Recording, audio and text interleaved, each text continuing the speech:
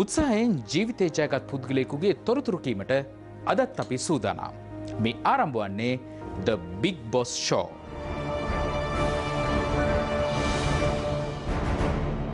මෙරට ජංගම දුරකතන ව්‍යාපාරය හඳුන්වා දෙනු ලැබුවේ එදදහස් නවසය අසූ නවය වර්ෂයේදී.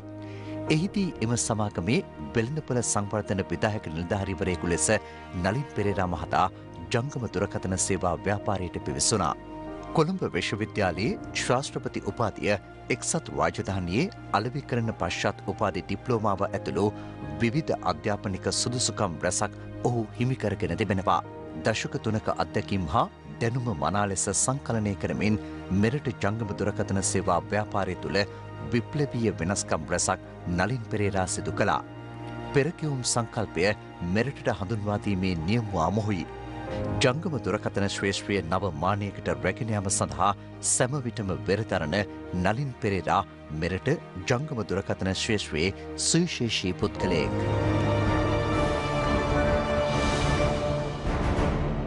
ශ්‍රී ලංකාවට ජංගම දුරකථන සේවාවන් හඳුන්නාදුන් යුගේ සිටම ඒ හා සම්බන්ධ වන පුද්ගලයෙකු අද වන විට ශ්‍රී ලංකාවේ ප්‍රධාන දුරකථන සේවා ජාලයක ප්‍රධාන විදායක නිලධාරීවරයා බවට පත්ව සිටනවා. ඔහු නමින් නලින් පෙරේරා. මොබිටෙල් ආයතනයේ ප්‍රධාන විදායක නිලධාරීවරයා වන්නේ ඔහුයි. අද අපගේ වැඩස්ටානයේ කතා නායකවරයා වන්නේද ඔහුයි. ආයබන් කියලා ඔබතුමා අපගේ වැඩස්ටාන් පිළිගන්නවා අයිබොන් මනෝජ් ම මුලින්ම දැනගැනීමට කැමති මේ නලින් පෙර කියන්නේ කවුද නලින් පෙරර කියන්නේ මම පුද්ගලයෙක් හැටිටේ මගේ නම ඒවගේ මම බොහොම කැමති මම නලින් පෙර හැටියට හඳුනනොනන් දැන් ඔබතුමා මේ ශේෂත්‍රයට පැමිණ යුගයේදී මෙය එතරම් හුරුපුරුදු ශේෂත්‍රයක් වුණේ නෑ ඔබතුමා අධ්‍යාපනය හදාල ඉන් පසුව මේ ශේෂත්‍රයට පැමිණෙනවා. තොර බයක් හිතුන් නැද මේ ශේෂත්‍රයට? මේ ශේෂත්‍රයට පැමිණීම ගැන? ඇත්තට මම අධ්‍යාපනයෙන් පස්සේ මම මුද්‍රණ ශේත්‍රයට තමයි ඉස්සෙල්ලමාවේ එතන වසර තුනරක් තුනක් විතර වැඩ කරා. ඊට වැඩ කරලා එන්නවට මම දැක්ක මේ පිළිබඳ අවස්ථාවක් තියෙන බව. ඇත්තටම අපි දැනන් හිටිය ඒ කාලේ ස්ථාවර දුරකථනය කියන එක විතරයි. අපි මේ මොබයිල් දුරකථනයක් කියලා අපි දැනන් හිටියේ පොලිසිය විතින් පාවිච්චි කරපු වෝකිටෝකි එකක්. ඒ වුණාට අපි මම පොඩ්ඩක් මේ ගැන කියවලා දන්න අයගෙන් අහලා බැලුවම මට තේරුණා මේක ඇවිල්ලා ඉදිරි අනාගතයේදී හොඳ ඉල්ලුමක් සහ යම් දෙයක් ආර්ථිකයට කරන්න පුළුවන් භාණ්ඩයක් හැටියට. ඒ අනුව මට විශ්වාසයක් තිබුණා මොබයිල් දුරකතරයට ලොකු ගමනක් යන්න පුළුවන් මෙවැනි රටක කියන එක. ඒ විශ්වාසය වත තමයි මම එදස් නමසි අසූනමේ මේ ශේෂත්‍රයට පළවෙනි මොබයිල් ජංගම දුරකතන ජාලයට සම්බන්ධලා රැකියාව ආරම්භ කරේ වෙළ සංවර්ධන විදායක කෙනෙක් හැටියට. එකන ඔබතුමා මේ පිළිබඳව හැදෑරීමක් සිදු කළේ නැද විදේශයකට ගිහිල්ලා හරි මේ පිළිබඳව අධ්‍යාපනය ලබා ගන්න මං හිතන්නේ ඒ කාලේ ආයතන තියෙන්න ඇති කියලා. මේ පිළිබඳව කොහොමද ඔබතුමා අධ්‍යයනයක යෙදුනේ? ඇත්තට අධ්‍යයනයට යෙදුනේ ඒ කියන්නේ ඒ කාලේ අන්තර්ජාලය වගේ දේවල් තිබුණේ නැහැ. ඇත්තටම අපිට දැනගන්න ලැබිච්ච දෙයක් තිබුණා නම් අපි දැනගත්තේ පොතකින් එහෙම නැත්නම් මැගසින් එකකින්. එහෙම නැත්නම් රට තියෙන පත්තරයකින්. ඒ වගේම විදේශගත වෙනවා කියන එක ඒ කාලේ එච්චරම ලේසි පාසු වැඩකුත් නෙමෙයි. අපිත් ගොඩක් දුෂ්කර මැද්දේ තමයි පාසල් ජීවිත ඉවර වෙලා රැකියාවක් කරන්න ආවේ. එවැනි අවස්ථාවක ඒ වගේ සුපෝගි භෝගී දේවල් අපිට තිබුණේ ඒ වුණත් අපි අපිට තිබිච්ච උනන්දුව සහ තිබිච්ච කැපවීම අනුව අපි යම් දෙයක් හොයාගෙන ඒ දේ ගැන අධ්‍යයනය කරලා ඒ ඒ විෂය ගැන යම් විශ්වාසයක් ඇති කරගෙන තමයි මම මේ ශේෂත්‍රයට පැමිණියේ. දැන් ඔබතුමා කිව්ව මේක හදාරමකින් තොරව කොහොම හරි මේ පිළිබඳව අවශ්‍යතාව මත ඉගෙනගෙන මේ ශේෂ්‍රයට ආව කියලා. දැ ඔබතුමාලට අභියෝගයක් වෙන්න ඇති මේ ජංගම දුරකතන පාරිභෝකයන් අතරට ගෙනයාමට ඔබතුමාල කොහොදකට මුහුණදීමක් සිදු කළේ.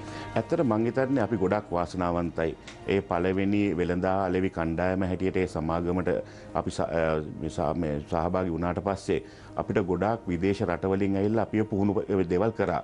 ඇත්තටම කියන්න ගොඩාක් එකන් අපි දැකපු නැති දේවල් එකන්න ඉදිරියට වෙන්න පුළුවන් දේවල් මේ වගේ තාක්ෂණයකින් මොනවගේ දෙයක් ආර්ථිකයට කරන්න පුළුවන්ද කියන එක තමයි අපිට පැහදලා දුන්නේ. ඇත්තටම අපේ පලවෙනි රැකියාව වුණේ මේ ප්‍රඩක්් එක හරි සර්විස් එක හරි විකුණන්න නෙමේ. නමුත් ජනතාව අතරේ මේ නව ක්‍රමය සුපලිචි කරන්න. ගැන පුළුවන් තරම් ප්‍රසිද්ධ කරලා ගොලන්ට කතා කරලා මෙන්න මේකයි ජංගම දුරකථනය කියන්නේ. මෙන්න මේක තමයි අපිට දුන්න කියල මේක මේ කස්ටමසට පෙන්න්න පාරිභෝගිකන්ට පෙන්න්න නතගාල බලන්න දෙන්න මේක කොහොමද පාවිච්චි කරන්න පුළුවන් මේකෙන් කොමන දෙයක් කරත හැකිද. ඇත්තටම විකුණට වඩා අපි කරේ මේක සංකල්පයක් හැටියට ජනතාවතට අරංගිය. කැන අපි සමාර්තැන්වලට ගිනියල පාරිභෝගිකය දා පාලොස් දෙනෙක් එකතු කරගෙන ප්‍රජෙක්ටර එකක් දාලා එතන පොඩි ප්‍රසන්ටේෂණයක් කරලා ඒ වගේ ජනතාව දැනුවත් කරා. ඇත්තර මං ගොඩක් සතුටුවෙන අපි ඒ කාලේ කරපු ප්‍රයත්නයේ ප්‍රතිඵල අපි දැන් දකිනවා. ක්‍රමාණුකූලෝ වෙනස්වමින් මේ වෙනකොට ජංගම දුරකතන ශේත්‍රය අති දැවන්ත ශේත්‍රයක් බවට පත්වෙලා තියෙන අනිවාර්යෙන්. අති දැවන්ත වැඩි ලාබ ලැබීමේ ශේෂ්ත්‍රයක් බවට පත්වෙලා තියෙනවා ශ්‍රී ලංකාව තුළ. ඔබතුමාලා කොහොමද මේ ජංගම දුරකතන ශේත්‍රයේ ඉදිරියට තවරුදු පහකින් හරි අවුරුදු දහයකින් හරි මොනවගේ වෙනස්කම් කිරීමට ඔබතුමාලා මේ වෙනකොට කටයුතු කරමින් සිටිනවාද.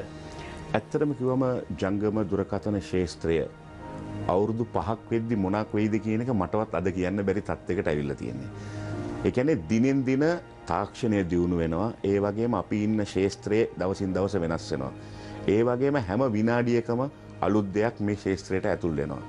අපි මේ ශේස්ත්‍රී ඉන්න කණ්ඩ කාණ්ඩයක් හැටියට ම හැමිවෙලේම අපේ කණ්ඩෑමට කියන්නේ නිතරම විමසිලිවත්ව ඉන්න. මොකක්ද මාකට් එකේ වෙන්නේ. ඒ වගේම අපි මාකට් එකේ වෙනදේ ඉගෙන ගන්නවා වගේම අපි බලන්න ඕන අපේ පාරිභෝගිකගේ අවශ්‍යතාවය මොකක්ද කියලා. මාකට් එකේ රික්වාමන්ට් එකට එකෙන අවශ්‍යතාවයට අපි අපේ සේවාව සැපුරුය නැත්තං මයිතන්න මේ තරඟකාරී වාතාවරණයක අපිට වැඩිකල් යන්න බෑ. මමත් ඉතන්න ඒක තමයි මේ මොබිටෙල්ලා ඇතනේ සාර්ථකත්වය අපි නිතරම මොකද්ද මේ තාක්ෂණය අතින් වෙන්නෙත් ඒ වගේම මොකක්ද පාරිභෝගගේ අවශ්‍යතාවය. ඒ දෙක සම්බන්ධ කරලා ඒ දෙගොල්ලන්ගෙම ඇති ලැබෙන ප්‍රතිඵලයක් ලබාදනක තමයි සේවාදායක කැටිට අපේ තියෙන පරම කාරිය වෙන්නේ. අපි ඔබතුමාගේ දැනගැනීමට කැමති ඔබතුමාගේ සේවකයන්. ඔබතුමාව කොහොමද දකින්නට ඕනේ. ඔබතුමා හා සේවකයන් අතර තිබෙන අන්තර් සමධියාව කොහොමද. ඇත්තටම මම කැමති සේවකය මාව දකිනවනම් ඉතාම නිහතමානී ඒ වගේම ඕන ප්‍රශ්නයකට ඔවුන්ට මට එන්න පුළුවන් පුද්ගලෙක් හැටියට.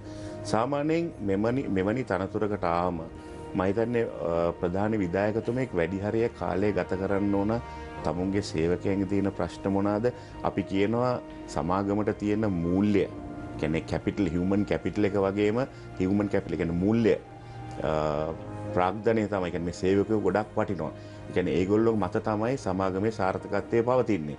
මහිතන් ඒක නිසා වැඩි කාලයක් ගත කරන්න ඕන ඒගොල්ලන්ට මොනවගේ ප්‍රශ්න තියෙනවා දේගලන්ට මොනවගේ පහසුකම් අවශ්‍යද තම කාරිය කරගෙන යන්න ඒ වගේ මිතාම සුහද සම්බන්ධතාවයක් පවත්වාගෙන යාමෙන් මහිතන සමාගමට ලොක ගොඩක් ප්‍රතිලාබ ලබන්න පුළුවන්.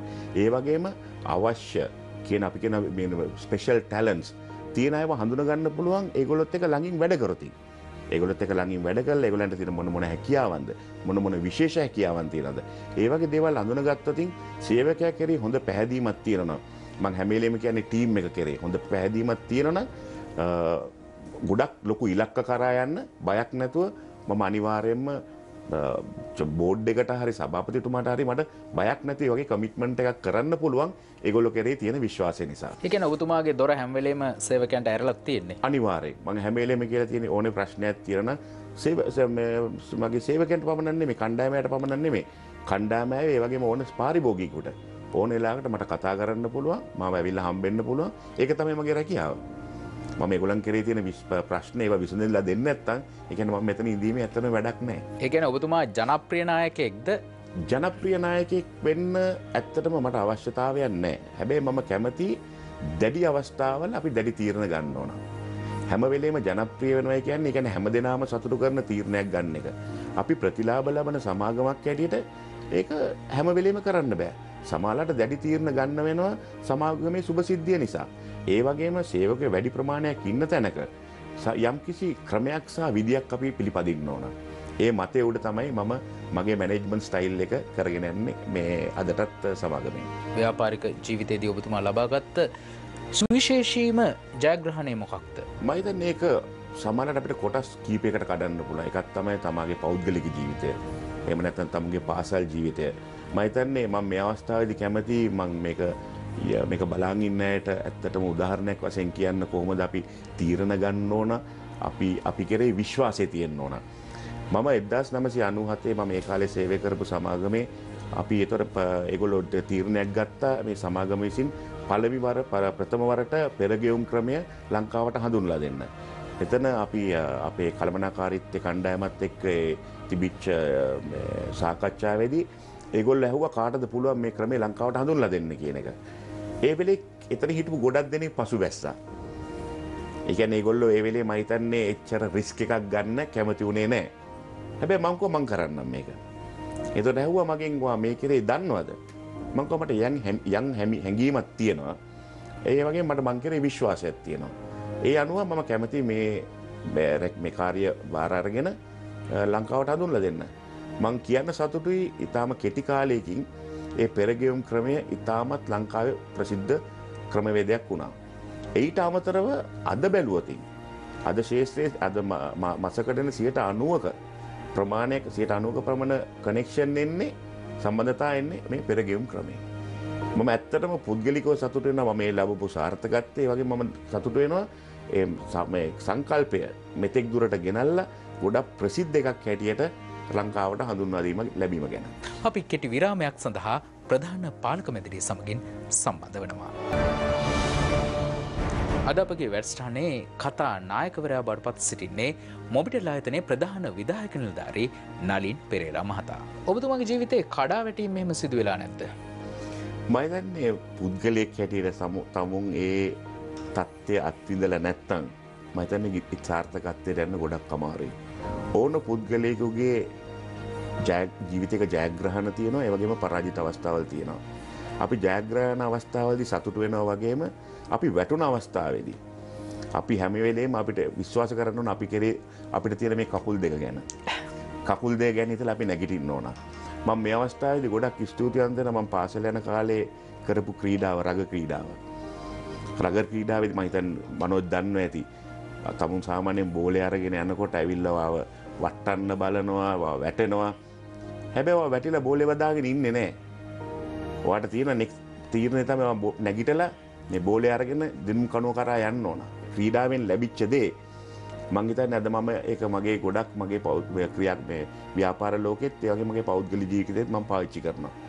මොකද වැටෙන වැටෙන වෙලාවට වැටිලා ඉන්න බෑ. අපි නැගිටලා අපි කෙරේ විශ්වාසය තියාගෙන ධෛර්යමත්ව ඉදිරියට යන්න ඕන. දැන් ඔබතුමා මේ වෙනකොට ලංකාවේ ප්‍රධානතම ආයතනයක ප්‍රධාන විධායක නිලධාරීවරයා. රටේ තියෙන දේශපාලන පසුබිම ව්‍යාපාර කරගෙන යාමේදී යම් යම් බලපෑම් සිදු කරනවා ඒ ව්‍යාපාරයන් සඳහා. ඔබතුමා මේ සඳහා කොහොමද මුහුණ දෙන්නේ? මගේතන්න අපි ව්‍යාපාරයක් කරගෙන යනකොට අපිට තියෙනවා අපේ කන්ට්‍රෝල් එක මත කරගෙන යන්න පුළුවන්. සමල්ලාට අපි කියන එක්ස්ටර්නල් එන්වර්මන්ට් එකට අපිට සමාර එන්වර්මන්ට් එකට අපිට කන්ට්‍රෝල් එකක් නෑ. මයිතන්නේ මෙමනි තනතුරක් ලබනකොට අපිට තියෙන විශේෂම දේ තමයි තමුන් තුළ තියෙන පරිපාලනය තුළ තියෙන තමුන්ට කන්ට්‍රෝල් කරන්න පුළුවන්දේ තමුන් හරියාකාරය පරිපාලනය කරගෙන සමාගම ඉදිරියට ගෙනයාමත් එයාගේම තමාට බාහිරව තියෙන දේවල්. කොහොමද අපි ඒක හැඩල් කරන්න කියන එක ඒ තැනට උචිත විදියට අපි කරගෙන යන්නන නමුත් අපි හිතරවන මේ මේ ප්‍රශ්න තියෙන කියලා අපි ඉඳගෙන මුකුත් නොකරන්න එක නෙමේ නමුත් සමාගම කැටිට ඉදිරියට යනවන හැමේලෙම අපි දෙපැත්ත බල්ල සමාගමට හරිදය කරගෙන ඉදිරි ගමන යන එක තමයි අපි කරගෙන යන්නේ. නලින් පෙරේරා මොබිටෙල් ආයතනය තවරුදු දහයකින් කොතනට ගෙනයාමට බලාපොරොත්තු වෙනවත්. මයිතන්නේ ඕන පුද්ගලයකින් ඔය ප්‍රශ්නය හෝතින්කයයි මට ඕන නොම්බර එක වෙන්න කියලා. මම මේ අවස්ථාවේදී එහෙම කියන්න කැමති නැහැ. දැන්ට මම මේ තනතුර බාලාරගෙන අවුරුදු තුනක් අපි යම් හොඳ සුගතියක් ලබල තියෙන ප්‍රගතියක් මට ඒකරේ ලොකු විශ්වාසයක් තියෙනවා. මහිතන්නේ මට ඕන මේ සමාගම ලංකාවේ තියෙන සේවාවෙන් විශිෂ්ටම සේවාවක් ලබා දෙන නවම තාක්ෂණය හැමවෙලේමම සේවාදායකයට පරිහාරණය කිරීම හැකියාව මගින් ලංකාවේ වැඩිම ප්‍රතිලාබ ලබන සමාගම ලෙසට පත් කරන්නයි. ඒකැන් ඒ පරමාර්ථයෙන් ගියොතින් නොම්බර එක වේද ඊට උඩයයිද කියන එක තීරණය වෙන්නේ ඒ අපි ලබන දත්ත මත තමයි. නලින් පෙර කුඩා කාලේ දක්ෂයෙක්ද. මම මෙහෙමයි මම ඇත්තම කියරන මම අධ්‍යාපනයට නම් බොහොම සුළු කාලයේ ගත කරේ පාසෙල් යනකොට.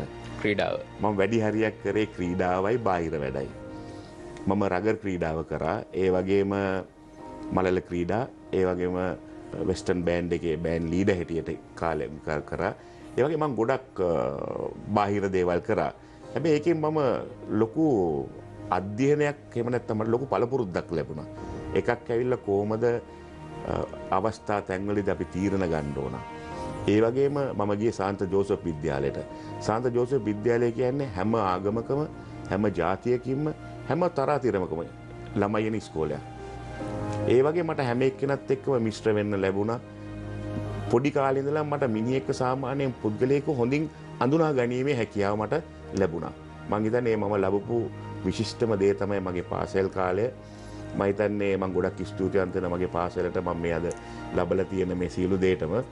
මම හිතන්නේ කුඩා කාලේ ලැබිච්ච ආරම්භය ගොඩක් උදව් වුණයි කියලා මට මේ අවස්ථාවේදී කියන්න පුළුවන්. අපි තවත් කෙටි විරාමයක් සඳහා ප්‍රධාන පාලක මැදිරිය සමගින් සම්බන්ධ වෙනවා. වැටුණු වෙලාවට කකුල් දෙකෙන් නැගී සිටින්නට ඕනෑ. එහෙම කියන්නේ මොබිටෙල් ආයතන ප්‍රධාන විදායක නිලධාරී නලින් පෙරේරා. ඔබතුමාගෙන් දැනගැනීමට කැමති. මේ වෙනකොට දහස් සංඛ්‍යාත තරුණ තරුණයන් ඔබතුමා සමුඛ පරීක්ෂණයට භාජනය කරලා තියෙනවා. ඔබතුමා මේ ලංකාවේ වර්තමාන තරුණ තරුණයන්ගේ දකින සුවිශේෂීතා හා දුර්වලතා විදිහට දකින්න මොනවද? මම හිතන්නේ තරුණ ජනතාව ඉතාමත් වාසනාවන්තයි. ඒ කියන්නේ අපේ යුගයත් එක්ක සංසන්දනය කරලා බලනකොට ඒගොල්ලෝ ගොඩක් වාසනාවන්තයි. මොකද මේකට ගොඩාක්ම හේතුව වෙලා තියෙන්නේ අද තාක්ෂණයේ තියෙන දියුණුව මත. මතන් අපි ඒ කෙරේ බැලුවොත් මේගොල්ලෝ ගොඩක් මේගොල්ලන්ට සියලුම රටවල් වල වෙන දේ ඕන දේකට තප්පර ගානකින් එගොලන්ට ඉන්ෆර්මේෂන් කියන්නේ අවශ්‍ය විස්තර ඇවිල්ලා ඒගොල්ලෝ දැනුවත් වෙනවා. මම දකින ඒක මේ සම්මුඛ පරීක්ෂණ වලට එන අය ගොඩාක් දැනුම තියෙනවා.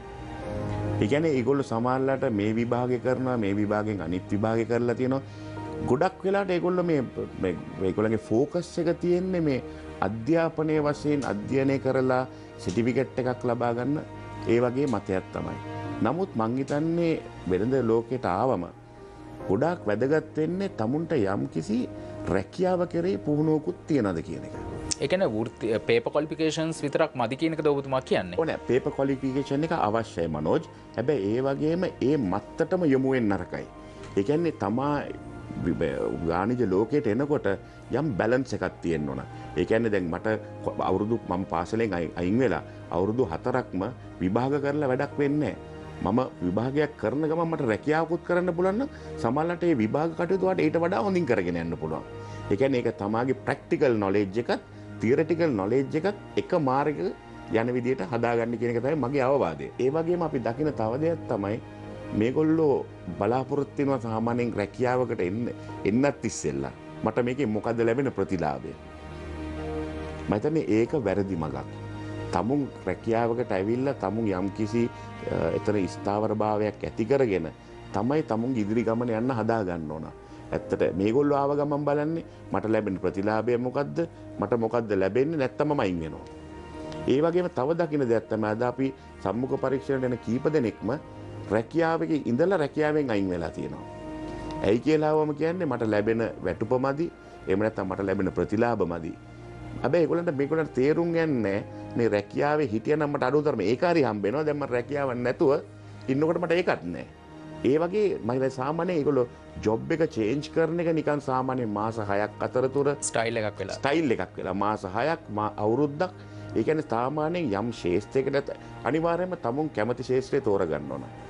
මම සියලුම දෙමවපියන්ටම හැමවෙලෙන් මම සාමාන්‍ය විශ්වවිද්‍යාල කතා කරන්න ගියාම මම දෙමවපියන්ට මං කියන්නේ ගොඩක් වෙලාට කිසිම දරුවකට බලකිරීමක් කරන්න එපා මේ ශේෂත්‍රයට යන්න. දරුවා විසින් තෝරාගත යුතු තමා යුතු ඒ අයුතු ශේෂත්‍රය මොකක්ද මට මේ ශේෂත්‍රයට ඇල්මක් තියෙනවද. මගේ මේක ඇගේ තියෙනවද කියන එක. එතකොට තමයි තමුන්ගේ ජීවිතය සාර්ථකත්වය කරා යන්න පුළන්මොකද තමුන් කරන රැකියාව තමුන් ඒ කරන අධ්‍යාපනය කටයුතු තමා කරන්නේ සතුටින්. කිය බල කිරීමකින් කරතින් ගොඩක් වෙන්නේ තමා කරන්නම් වාලේ ඒදේ කරන එක පමණයි. ඒක තැයි මගේ අවවාදේ ඒවගේම දැන් තරුණ ජනතාවට මං කියන්නේ හැමවෙලේම තමුන් කළ යුතු දේ කෙරෙයි සියට සීයක් විශ්වාසය තියාගෙන තමුන් කෙරෙයි විශ්වාසය ඇතුව පෙරගමන් පග හදාගෙන පිළිවෙලක් අනුවට යන්න සූදානම් වෙන්න කියලා. ඔබතුමාගේ ජීවිතය තුළදීත් ඔබතුමාට කවුරුහරි අත දෙන්නට ඇති. යම් කිසි අවස්ථාවකදී උදව්පකාර කරනට ඇති මේ වැඩසටහන් නරබන තරුණ තරුණයනුත් සිතන ඇති කවදහරි නලින් පෙර වගේ පුද්ගලෙක් වෙන්න මටත් තියෙනවා නං කියලා. ඔබතුමා ඔවුන්ට අතදීමට කැමතිද. අනිවාරයෙන්ම මං කවදත් කියන්නේ මං ඉස්සෙල්ලත් කිව්වාගේ තමුන්ගේ මුලාමතක් කරන්න රකයි. ඒ වගේම ඒ මුල ආරම්භය ලබන්න එන තව තරුණයකුට අතදීම මගේ අනිවාර්යෙන්ම යුතුකමයි. ඒ වගේම මම ඉන්න ශේත්‍රයේ යම් දෙයක් දන්නවනම් අපි සාමාන්‍යයෙන් කියන ගුරු මුෂ්ටිය කියලා අපි තියාගෙන කියලා දෙනවයි කියලා. මං හිතන්නේ ඒක කරන එක ලොකු වැරදි දෙයක්. තමුන් දන්නවනම් 100%ක් ඒ 100%ම කියලා දෙන්නවා. ඒ කියන්නේ නැත්තම් අපි මේක මට තියාගත්තයි කියලා යම් දවසක මට එකකින් කිසි ප්‍රතිලාභයක් ලැබෙන්නේ නැහැ. අනිවාර්යයෙන්ම ඕනම තරුණයෙක් ඉන්නවා නම් තව තරුණියෙක් ඉන්නවා නම් එයාට අවශ්‍ය සේවා මගින් සේවාවක් අවශ්‍ය නම් මම ඕන්ලාක සූදානම් මේ දේ කරන්න. සාමාන්‍යයෙන් අපිට අවස්ථාවල් ලැබෙනවා අපිට ට්‍රේනින් ප්‍රෝග්‍රම්ස් කරන්න. ඒ සියලු දේටම අපි ගිහිල්ලා අපි ගත් අපි ගත්ත ඒ එක්ස්පීරියන්ස් එක අපි අත්හදපු දේවල් අපි දැකපු දේවල් අපි ඒගොල්ලොත් එක්ක බෙදා හදාගෙන ඒගොල්ලන් ඉදිරි ගමන යන්න අනිවාර්යයෙන්ම අපි ගොඩක් හැම වෙලේම පුළුවන් විදිහට අපි උපකාර වෙලා තියෙනවා. අවසන් වශයෙන් ඔබතුමාගෙන් දැනගැනීමට කැමති. මේ තරුණ පරපුරට ඔබතුමාට දෙන්නට තියෙන උපදේශය මොකක්ද. මං කියන්නේ හැම වෙලේම තමුන් කෙරේ විශ්වාසය තියෙන්න ඕන.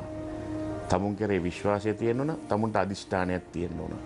ඒ වගේම පෙර දැක්මක් හැම එක්කෙනෙකුටම ප්ලෑන් එකක් තියෙන්න ඕන මම මේ මාර්ගය යනවා මේ විදියට කරනවා හැම වෙලේම සාර්ථකත්වය විතරක් බලාපොරොත්තු වෙන්න එපා ජීවිතේ.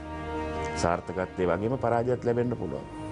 ඒක තමයි අපි ජීවිතේ දැකගත යුතු සහ ලබාගත යුතු ලොකුම පැහැදීම තමුන් කෙරේ. ඒ මගේ යනවන මංහිතන කිසිම කෙරෙකුට වර්දින්න බැහැයි කියන එක මට අනිවාරයෙන්ම කියන්න පුළුවන්. බේන්ව ස්තුතියි අද අපහා සම්බන්ධවීම පිළිබඳව. ලබන සතියේදී සුපුරුදු වේලාවට යළි හමුවනතෙක් ඔබට සුවදා ඒ රාත්‍රයක්.